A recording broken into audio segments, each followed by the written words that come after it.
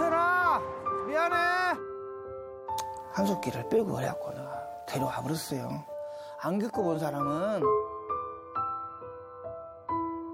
고통스럽게 계신 것보다는 하늘나라로 가시는 게 더 낫지 않을까. 볼게 엄마.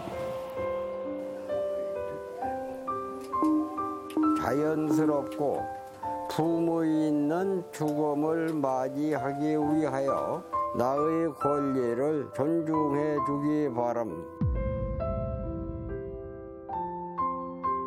앞으로 내가 죽을 수 있지만 생각을 더 가질 수 있는 시간이 많기 때문에 마음이 편한 거지.